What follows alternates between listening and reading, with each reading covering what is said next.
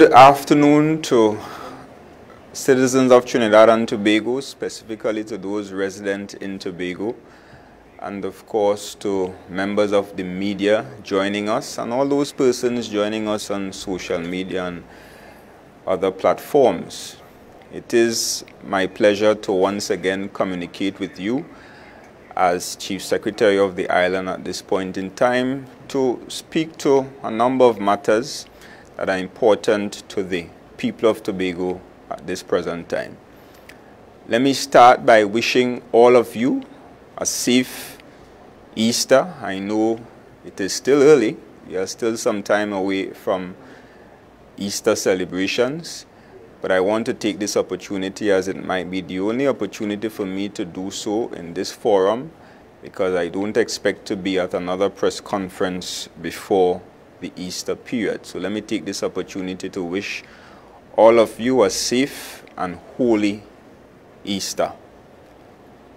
During this period, we expect over 10,000 visitors from Trinidad to come to the island of Tobago all the reports that I've gotten so far from hoteliers and owners of guest houses and other forms of accommodations suggest that we will have during that period an occupancy rate of over 80%, which of course is good for the island at this point in time. It's good for not only owners of those establishments, but our various business persons as this will provide an opportunity for some much needed economic activity on the island at this point in time. So we welcome our brothers and sisters from Trinidad. My information is that all the ferry tickets are almost sold out. Flights are fully booked to the island from now until after Easter. And it is very welcomed at this point in time. However, I want to take the opportunity to remind Tobagonians and even our brothers and sisters coming from Trinidad that we are still in a pandemic. We are still being impacted by this COVID-19 virus. Across the world, it continues to kill. I think the death toll is almost 3 million. So therefore, it continues to be very dangerous. And therefore, while we welcome all the much needed activity, while we welcome all the visitors from Trinidad, who of course are expected to visit our lovely beaches and go to tours of the Buccoo Reef, the rainforest, and a number of other sites and attractions, and who we expect to support our business businesses here in Tobago, from restaurants, bars, and other food establishments, groceries, car rental companies, shops, etc. I want to remind all of us that we must adhere to the regulations of this pandemic period. And therefore, I have been given the assurances by the top brass of the Trinidad and Tobago Police Service, specifically those responsible for the leadership of the police services here in Tobago. I met with the Assistant Commissioner of Police responsible for Tobago, and I've been given the assurance that all systems are in place to ensure that we have a safe and secure Easter period. And therefore, I want to put persons on notice, especially those who may be so inclined to break the law and to break the rules of engagement at this point in time that the Trinidad and Tobago Police Service will be out there and they will be expected and required to do their jobs. They will be expected to ensure that there is enforcement of the pandemic regulations and therefore bars are expected to close when they are supposed to close and persons are expected to, of course, socialize, have fun, but we do not want to have a situation where Tobago becomes COVID capital, and therefore persons must act responsibly. And therefore the police will be out there doing their jobs, and all other arms of the protective agencies will be doing their jobs as well to ensure that we continue to remain safe during this period. I also want to put on notice those tour operators, especially those operating tours to the Buccoo Reef, and even owners of the various accommodations, restaurants, etc. We must ensure that we operate sensibly during this period. And therefore, guidelines and protocols in terms of how we should operate during this pandemic were issued many months ago. And I want to say to those persons, I want to admonish them that we are required to follow all those protocols lest we run into trouble. And therefore, Reef Boat and other tour operators are expected to operate at 50% capacity, I think, is the current requirement. And of course, restaurants are expected to have some, some enabling environment for social distancing. And of course, the usual hand sanitizing and hand washing rules must continue to be enforced. I want to say again that it is important for us to remain safe during this period. Yes, we welcome all the business activity. As a matter of fact, Tobago needs it at this point in time. But we must remember that at the end of the day, we are still in a pandemic and we must ensure that we operate in a manner that will not allow us to see a significant increase in COVID-19 cases. With respect to touting and operations on the marine park, we have taken steps, the Division of Tourism, Culture and Transportation, in collaboration with the Division of Food Production, Forestry and Fisheries, we have taken the necessary steps to ensure that there is or that there will be collaboration between those divisions, the Trinidad and Tobago Police Service, and the Trinidad and Tobago Coast Guard. And even, I, I think we are getting some assistance even from the Defense Force reserves, right? And we will be ensuring that the situation with touting does not continue during this period and that we will have safety and order in the operations of the marine park, especially during this period. And of course, our reef patrol officers will be out there to ensure that boats do not go beyond their limit and that people do not engage in activities that will not only expose them to infection from COVID-19, but would also place them at risk in terms of the possibility of drowning, etc. So we expect to have cooperation from all citizens, all tour operators and business owners so that we will have a safe and successful Easter period. So once again, I want to encourage all our visitors to come to the island, have fun, enjoy Tobago. I've always said and will continue to say that Tobago is the better half I mean, it may not be an exact half, but the better half of the Twin Island Republic.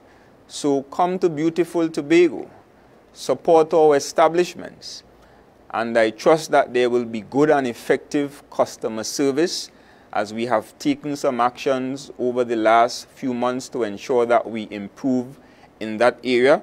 So we look forward to the support of our brothers and sisters from Trinidad and we look forward to even our own Tobagonians, visiting our various sites and attractions and having a safe and enjoyable Easter period.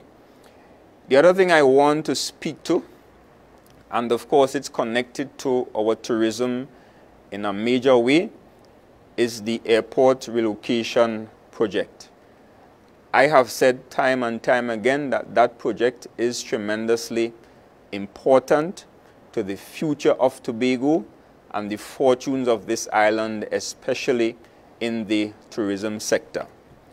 But more important than the airport project, of course, is how we deal with those persons that are affected, persons that are being asked to relocate and take up residence in a new place.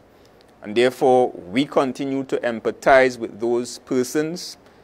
I personally understand the difficulty some of them are faced with. I've taken the opportunity to visit a couple of the impacted persons, a couple of the affected persons, and I understand the difficulty. And therefore, the Tobago House of Assembly, we have a responsibility to ensure that we make this process as easy as possible. And therefore, as the situation progresses, even some time ago, I said to the public that persons who are in this situation and feel like they are being treated unfairly should reach out to my office. And some persons have done exactly that and have highlighted their specific circumstances that I believed warranted a change in our policy approach with respect to those developments. And therefore, I want to announce three changes or three adjustments to the policy. One, persons who came from situations or existing homes where they had multiple persons living in either the same house or where they had multiple houses on the same property. Rather than them having access to one parcel of land at the Sherburn development, which is the area identified for residential purposes, we are going to allow those persons to have access to more than one parcels of land at the residential rate, in this case of $30 per square foot, to ensure that they can in fact move on with their lives. And this of course is subject to the availability of parcels in that area. Secondly, the Cove development, which is identified as the area for commercial activities, or persons who are relocating their businesses, we have made a decision that in the areas that are appropriately zoned where we can have some residential buildings, we will make land available to persons in the same situation as described before, where maybe one small parcel of 5,000 square feet will not be enough because of their previous circumstances. We will make land available to those persons in the Cove area. As I said before, that area has been identified for commercial activities only, but we are now going to permit persons to have parcels in the appropriately zoned areas to treat with residential properties. And it must be strictly for residential properties because we are allowing those persons to purchase the land at Cove at the residential rate of $30 per square foot instead of the commercial rate of $50 per square foot. So of course, persons are encouraged to approach the Airport Relocation Committee's office to discuss their specific circumstances so that they can begin or continue the process of moving on from this difficult position. And the other issue has to do with persons who were compensated for rent. In many instances, some of those persons may have exhausted those allocations already, and for some reason, they have not completed the, the negotiations process, and therefore they cannot move into a situation where they could begin to construct their homes. Persons so affected will be compensated with one year's, one additional year of rent. And the way we are going to do that is through a further subsidy on the cost of the land. So in other words, persons who have exhausted their rental compensation and still have not completed their negotiations process so that they could start building their new homes, they will be compensated with one year's additional rent. I'm not going to give them the money in their pocket, but they will simply pay that amount less for the cost of the land. Right? So those are the three areas, those are the three changes that we are making to the current policy to ensure that we treat with the needs of the affected persons at this point in time. Again, I cannot underscore enough. I cannot reiterate sufficiently the importance of that project to the people of Tobago. But we must ensure that at the same time, while there is a cost and while there is a price attached to development, we must ensure that all those persons are taken care of as far as we can possibly do so and as far as the law provides. And I'm saying that even in these specific circumstances, where the Tobago House of Assembly made a decision to undertake two housing, well, one housing development and a commercial development, that was in fact us going beyond what the law required of us. But we saw it necessary, and we still see it necessary for us to continue making adjustments so that we can treat with the specific difficulties and the specific circumstances faced by persons who are so impacted. So at this point in time, I will take any questions that members of the media may have. Thank you, Chief Secretary, Honorable Ansel Dennis. Good afternoon, everyone. I'm Davia Chambers, and I'll take you through this afternoon's question and answer segment. As usual, members of the media, once you have a question to pose, just indicate by raising your virtual hand. Clayton Clark, Radio Tambrin. Good afternoon, Clayton. Rather, Elizabeth Williams, TV6. Good afternoon, Elizabeth. Good afternoon. Um, good afternoon, THA Chief Secretary Ansel Dennis. Good afternoon, ma'am. How are you? I am fine. I am fine. What I wanted to know from you is that um, there's a situation I'm not sure if you're aware of with respect to the herbs and spice project in Goldsborough. Workers are claiming that they have not been paid for three fortnights and it's going into Easter and they still have not been paid. I don't know if you can look into the matter. We are also hearing that there's a lot of nice herbs and spices that they plant and reap, but it's also going to waste. That situation obviously is untenable. There is no excuse for persons being paid as late as three weeks, you said? Three um, fortnights. Three fortnights. The, the situation was brought to my attention I instructed the administrator to treat with that urgently.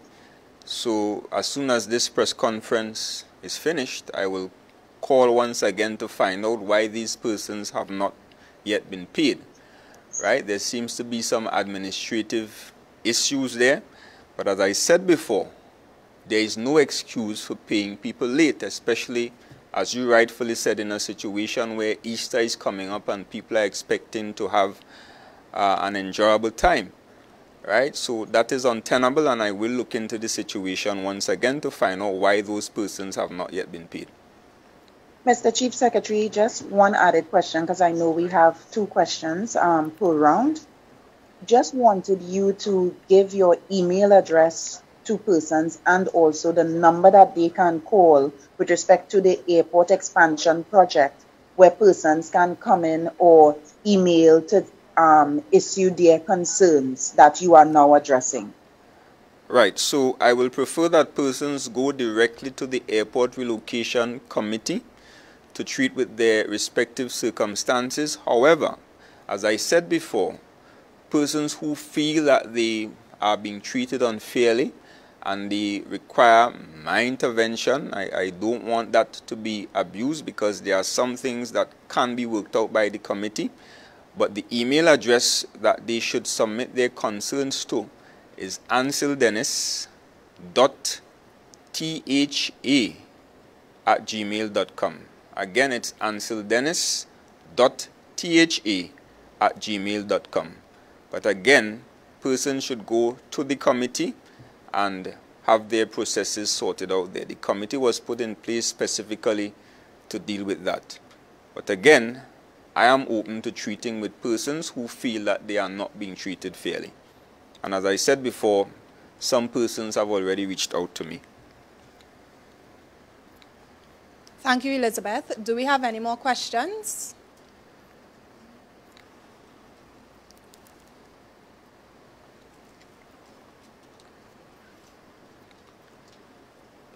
Seeing that there are no more questions. one more closing statement. Excuse? So, Do we have any more questions? Please indicate by raising your virtual hand. Clayton Clark, Radio Tambrin. Good afternoon, Clayton.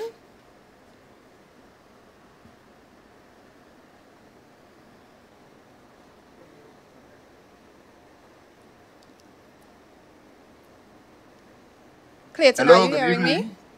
Yes, hello. Hi, good afternoon. Right, I do. I was away. Yes, good afternoon. Um, any more questions? Yes, one question, Mr. Dennis. Um, so this weekend, uh, Easter activities in Buccoo. Uh, there's a construction going on on the jetty as area rep and the secretary for, for tourism. Can you just give us an update on the work there and not just the jetty, there's some other work along the beachfront there. Right now, in terms of, um, I, heard you mention something about Easter celebrations. There will be no Easter celebrations in Buccoo per se. I know the village council, they were considering having a virtual arrangement that would, would have been recorded um, for public consumption, but there will be no Easter festivities. So I will urge persons, do not flock into Buccoo in large numbers expecting to see any goat race at this point in time. Again, due to the pandemic, we cannot have any goat racing as we have been accustomed to over the last many years. Um, with respect to the beachfront project, of course, the boardwalk project started in 2015. My information is that it should be completed within the next two months. Um, I think basically the work is going along quite well. I have some personal issues with the quality of work uh, with one of the contractors, the, the one doing the phase one of the project. I have some issues with the level of carpentry that I'm seeing there, right? And therefore, I will be conducting a site visit at 3 p.m. When I leave here, I'll be going straight down to Buccoo along with the chief administrator and our representative, our project manager, the person managing the project on our behalf, and we'll be paying attention to those issues. We want to ensure that Tobagonians and the country by extension get value for money. And I do not want a situation where after the project is complete, we have very soon after issues with materials falling apart and, and rust and that kind of thing. And some of the issues are are basic things. Um, a development of that nature, which of course will be exposed to salt, one must use stainless steel bolts and nails, etc. So I was very surprised to see when I passed down there, I think it was um, last week, Thursday I think it was, to see a situation where normal nails that you will use in normal construction circumstances were being driven into wood, right, for parts of the rails down at the boardwalk. So I am going there today and the contractor will be asked. As a matter of fact, he was already written to to rectify those issues. And that will not be accepted by us, not at this time and not ever under my watch. Akinlabi Holder, Tobago Channel 5. Good afternoon, Akinlabi.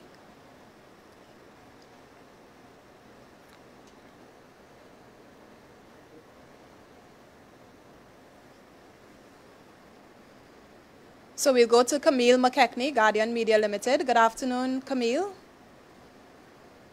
Hi, good afternoon. Good afternoon. Mr. Dennis, on behalf of the Baptist community, um, they're asking when exactly you would discuss with them the school building because they said they've been trying to reach you since October and you're supposed to reach back out to them, but they've had no word at all about it.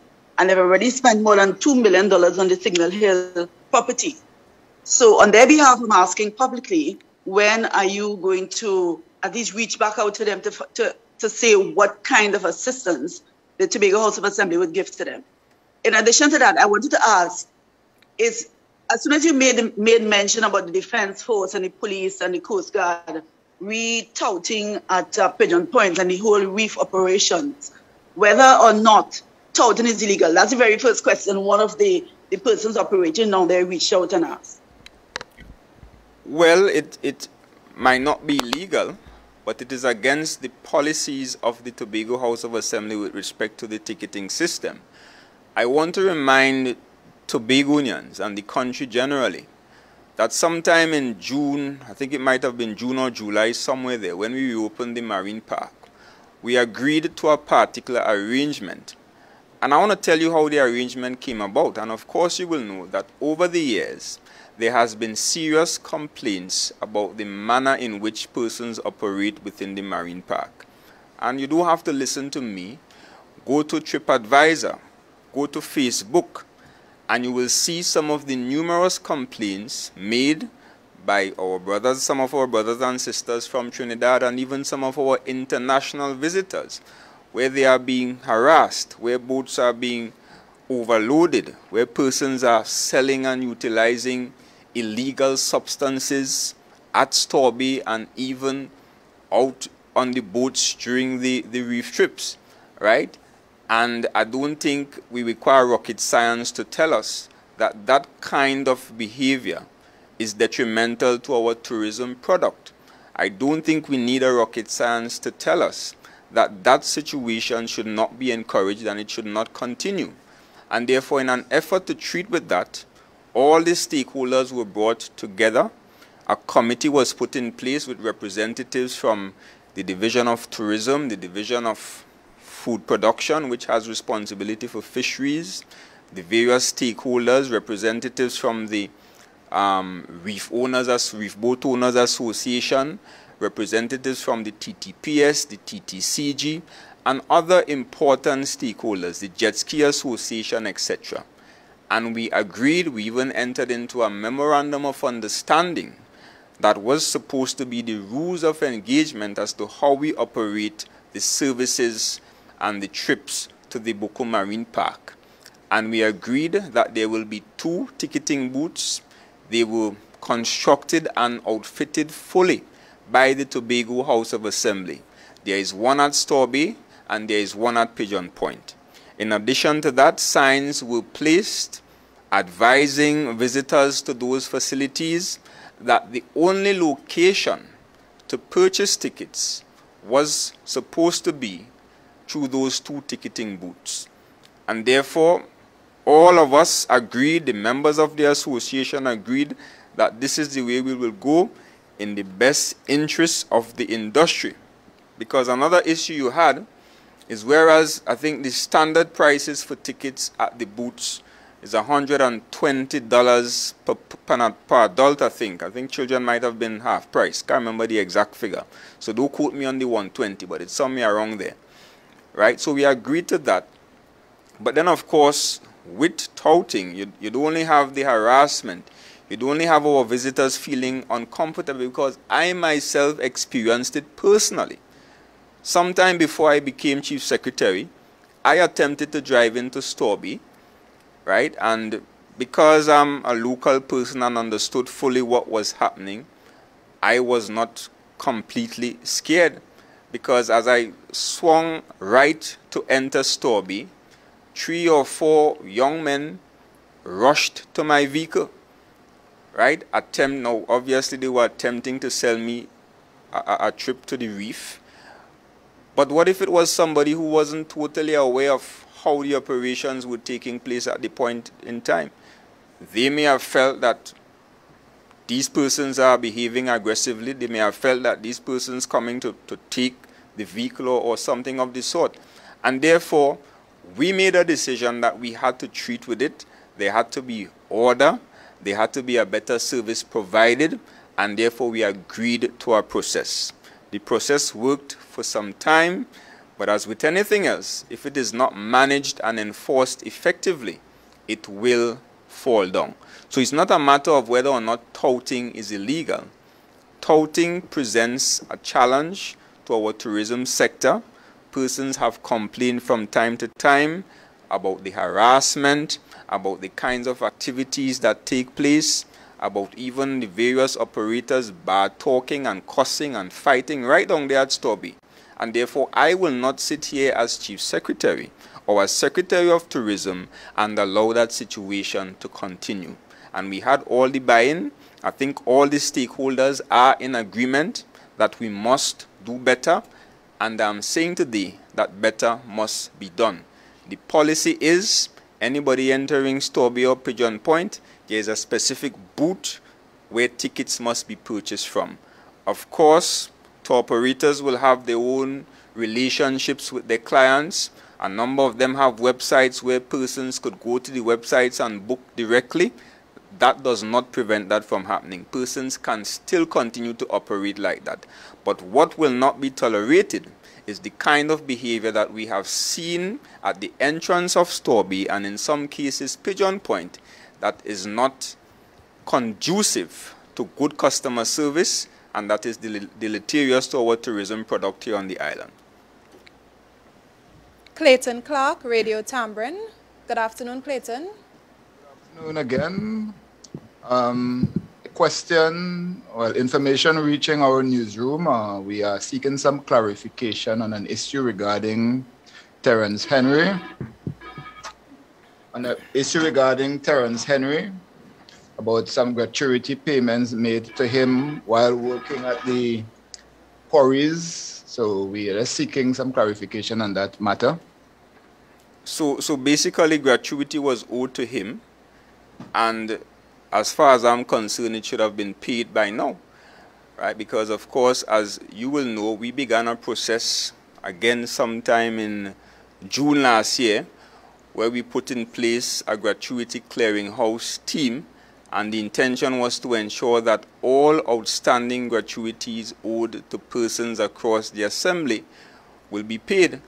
Now, all have not been paid as yet, but the process continues and the expectation is that every single person who is owed gratuity money by this assembly, it must be paid, especially those persons who are owed uh, pre-2017. So I think Terence Henry was one of those persons, and that was treated with during this process. Akinlabi Holder, Tobago Channel 5. Good afternoon, Akinlabi. Good afternoon. Can you hear me this time? Yes, we are hearing you. Okay. Um, Secretary, Secretary, I didn't know if you would have answered it concerning the, the ticketing system at um, Store Bay, but do you have any information as to why the system would have collapsed? Um, a lack of enforcement, mostly, because the reality is that while persons agreed generally to the new arrangement, there were some who may not have been in full support because it was not in the best interest of their pockets. And that's the reality.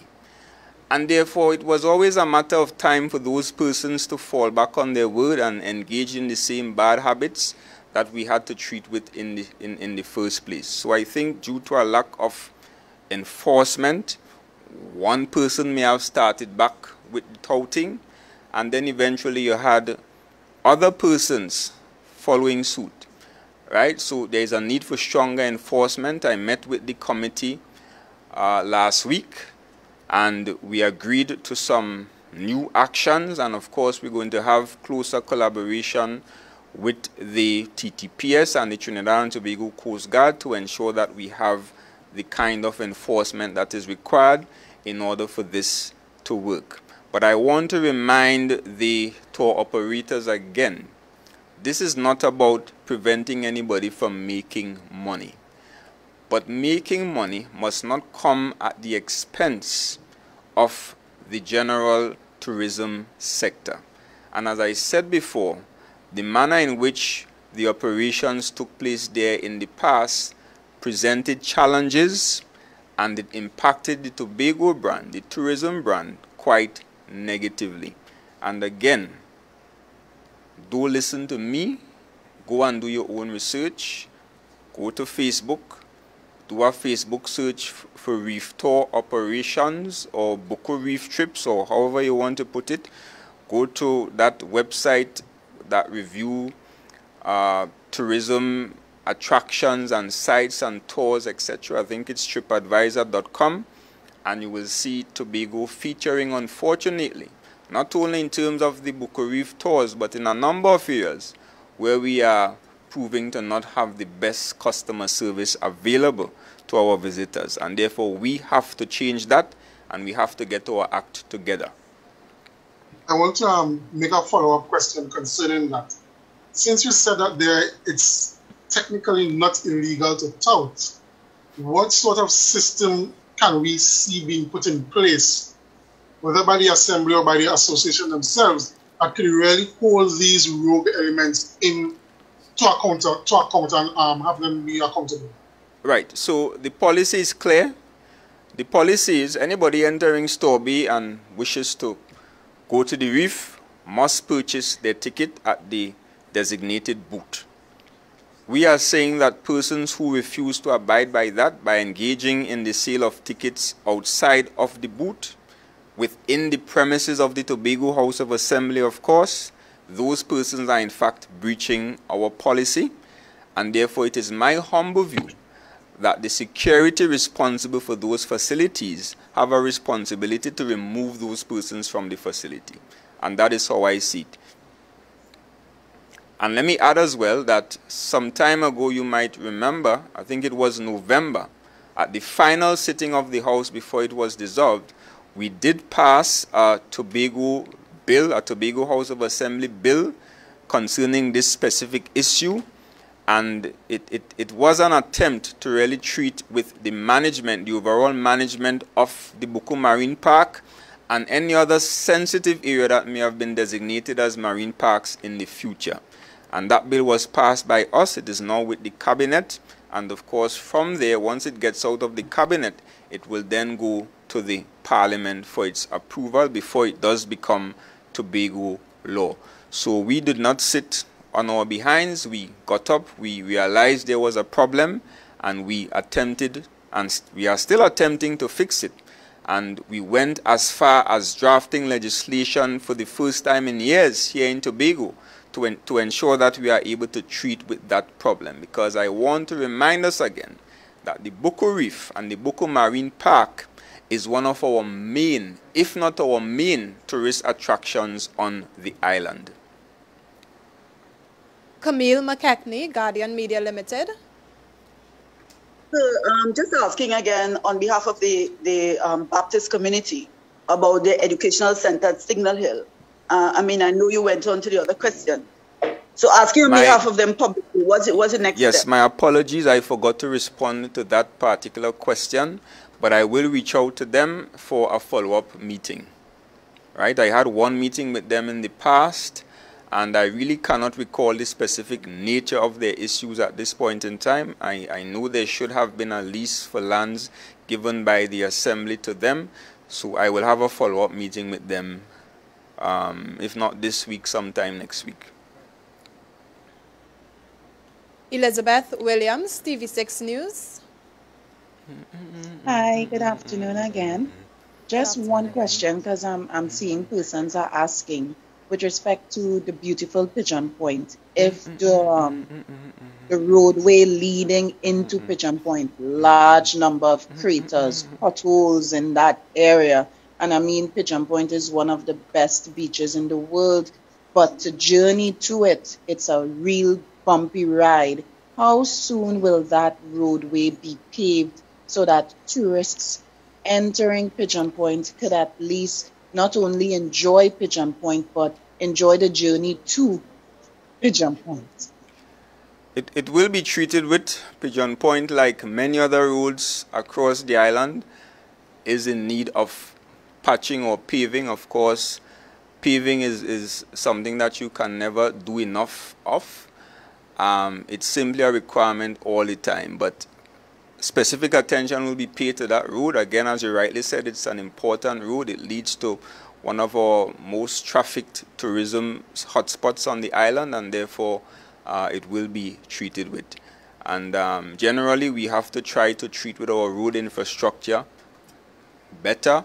A lot more patching is needed across the island, but of course, resources are limited. So it's only a certain amount of roads and a certain amount of patching that you could do within a specific fiscal year. There are other needs as well, of course, drainage. Uh, in some cases, properties are threatened by landslides that will require retaining walls, etc. So we will continue to do our best in the circumstances. Akinlabi Holder, Tobago Channel 5. Um, yes, good afternoon again. Secretary, um, this is concerning the, the public pool at Kendall. We got some pictures recently that the facility is in quite a state of disrepair. So I don't know if you could speak to us as what exactly is going on with the facility. Um, and I have a couple more questions afterwards. Yes, um, I think YMCA, that is the NGO that has responsibility for managing it. They have been struggling due to the lack of activity. But we made a, a, decision as recently as today to give some financial support to them so that they will be able to treat uh, with the management and maintenance of those facilities. So expect to see some improvements quite soon. Okay, um, this is this is um, a question. To, the next question is to build on the um, issue of our tourism products or attractions. And given that you said 10,000 Trinidadians are expected to come uh, or more. the island over the weekend, or more over the weekend, um, there's been concerns raised about the condition of the steps towards Pirates Bay.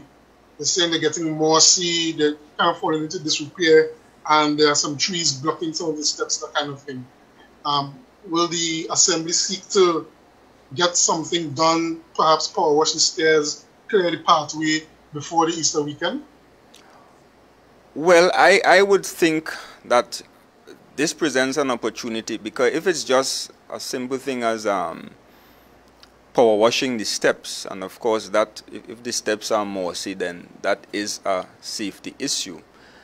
Um, but if that is the only requirement at this point in time, maybe it presents an opportunity for us to engage uh, in some public voluntary partnership, meaning partnership with the THA and some voluntary sector organization and maybe it's something that we can get done as a community project. I saw the concern raised on Facebook and therefore I'll have some discussions with a couple of the NGOs and community groups from that area to see what we can do um, soon because if we are to mobilize to get it done within the Tobago House of Assembly, of course it is going to take some time um, to get it through the various channels. I think all of us by now understands how bureaucracy works. Um, but it, it, gives us an opportunity, as I said before, to maybe engage a community organization if they are so willing. And I myself will be open to being a part of that exercise. Okay, and um, in some person saying that they also need some toilet facilities down there. That would be more of a long-term project, but is that something you think that the assembly is looking into? Yes, that will be a long-term project.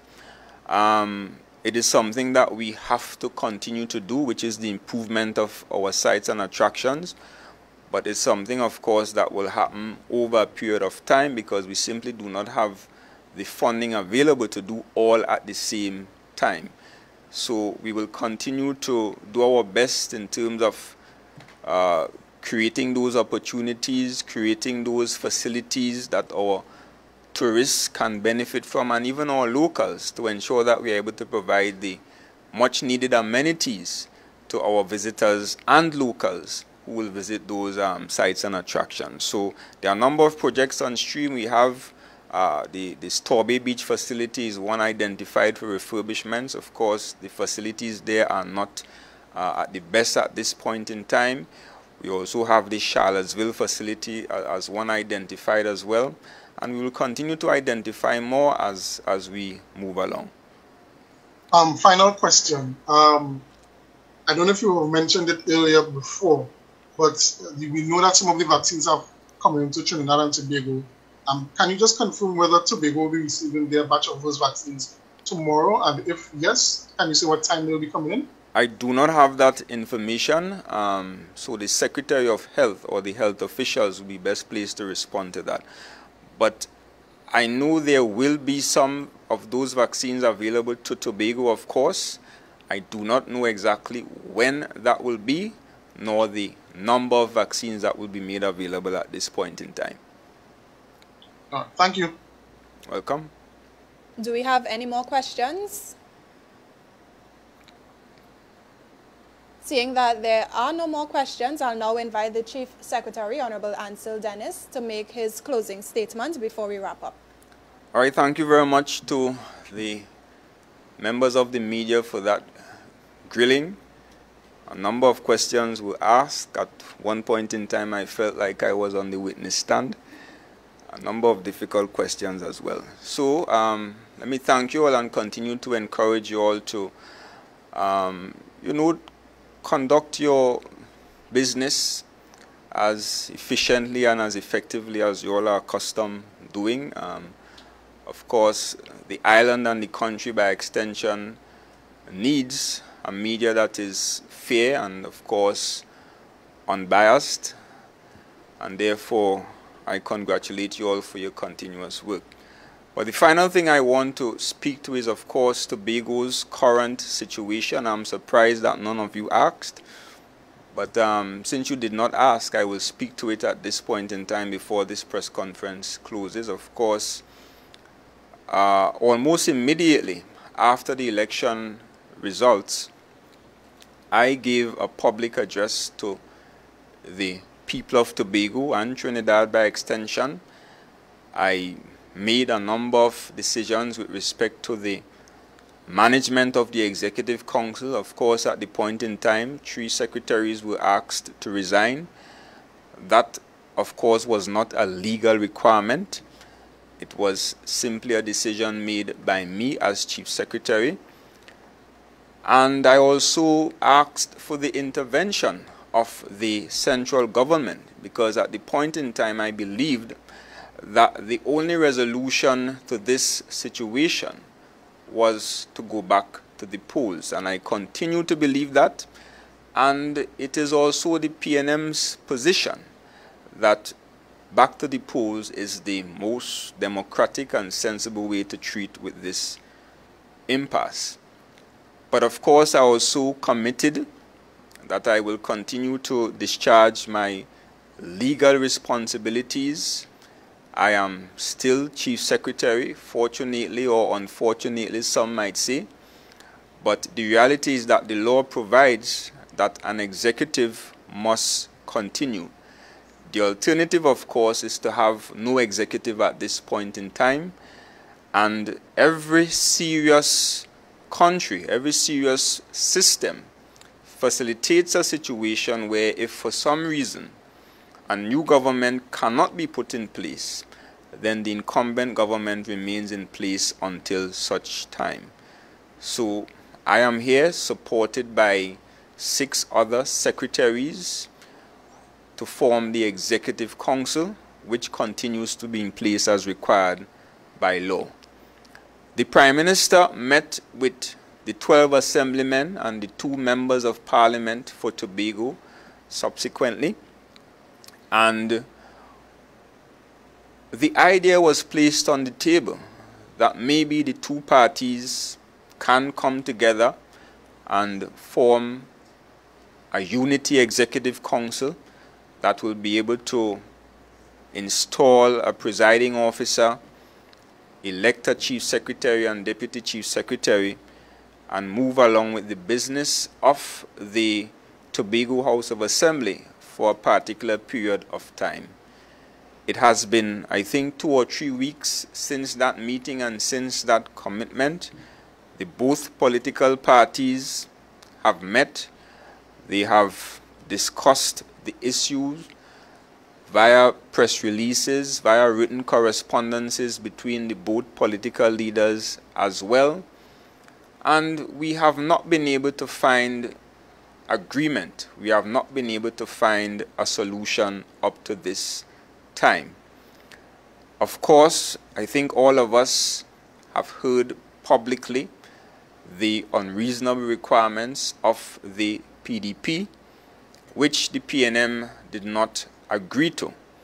And therefore, we are still in this situation where we do not have a fully constituted Tobago House of Assembly.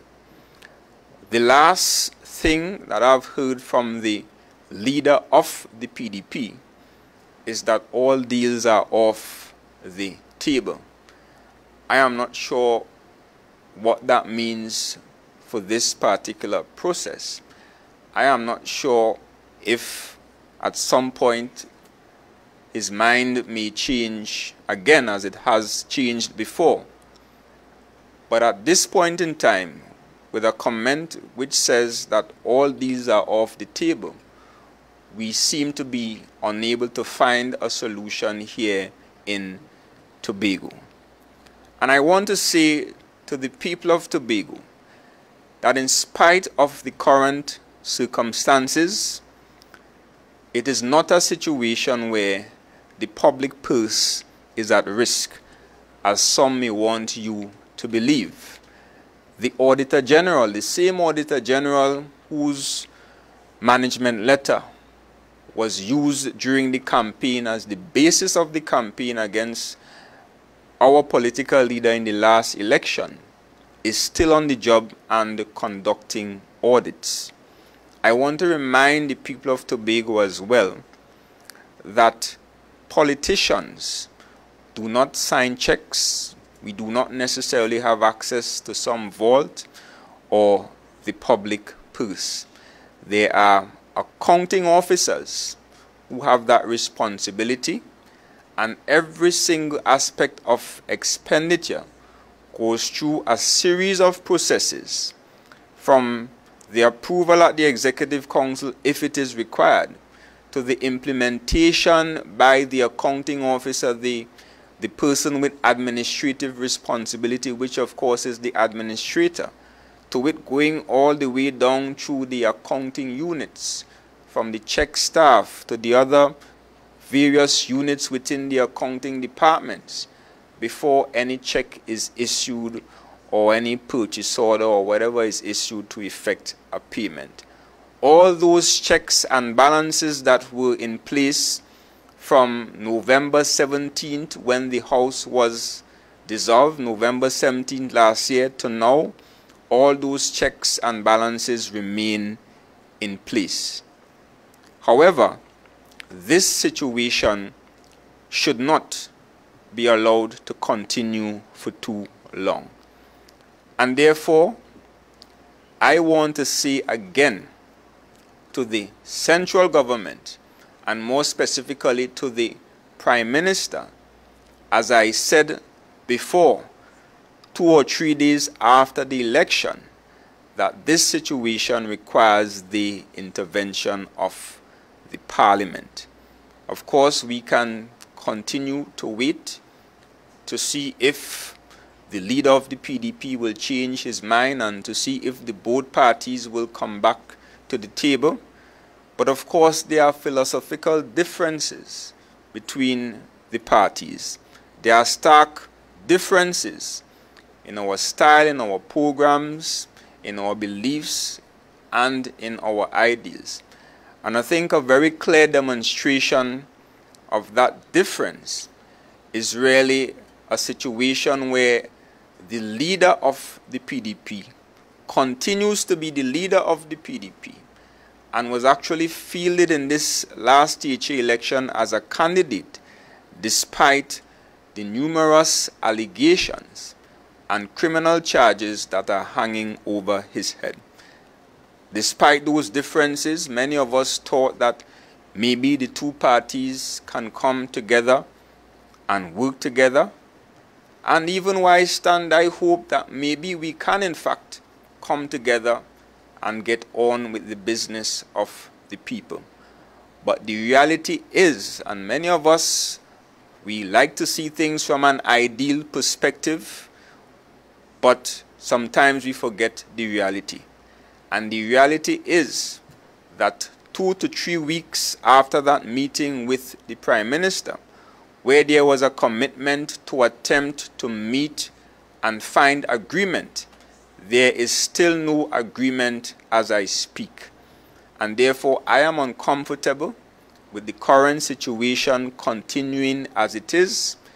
And I'm saying again, as I said before, three days after the election, that this requires the intervention of the Parliament because I do not expect a resolution to come from the political parties. And therefore, I am placing that on the table again. But I say to the people of Tobago, despite the circumstances, The Executive Council, led by this Chief Secretary, will continue to discharge our responsibilities without fear, without favor, without malice, and without ill will. We will continue to manage the resources of the island with prudence during this period of time, and I'm hoping that this situation will be resolved in short order because I am not comfortable with the current situation continuing as it is for too long. I also want to remind the people of Tobago that you have elected 12 assemblymen who were already sworn in by the president and who are being paid as far as I'm aware, and therefore they have a responsibility to serve their various constituents across all the electoral districts of Tobago. And therefore the people of Tobago are not without representation during this period. Right? So I basically wanted to place that on the table that this situation cannot and should not be allowed to continue for too long again. And having made that statement, I'm seeing that Ms. Williams has a question. I will facilitate that question. Just one question, Mr. Chief Secretary. As you, as you stated that you are not comfortable with the situation and you're hoping that it can be addressed in the shortest possible time. Um, with respect to this situation, why has the, um, the PNM stated via a release previously that mediation is not on the table? The PNM stated in the release that was sent to members of the media that mediation is not being looked at at this time. Now, while I do not wish to speak for the political leader, if mediation is required, to simply come to an agreement. Are we not saying to the people of Tobago that under that arrangement, that mediation will be required throughout the existence of such an executive council? I mean, if we can't simply agree on an issue in terms of getting the thing started, forming an executive council, can you imagine the kind of acrimony, the kind of disagreement, the kind of chaos that may possibly come out of such arrangement. Right? So it is in that context that I believe the two parties should have been able to work out the issues together, manos to manos, without the involvement of any mediator. And having failed to do that, we are basically saying to the people of Tobago that we will require mediation for the whole duration of the existence of that executive council. Right? And I want to remind the people of Tobago again that while the circumstances as we speak may not be ideal, I'm saying that at this point in time at least, we do not have any chaos as far as I'm aware, right, or confusion and bacchanal at the level of the Executive Council. Thank you, Honorable Dennis. So that brings us to the end of this week's Post-Executive Council media briefing. Thank you so much for joining us. I'm Davia Chambers. Do enjoy the remainder of your afternoon and always remember to practice the three W's. Wear your mask, wash your hands, and watch your distance. Good afternoon.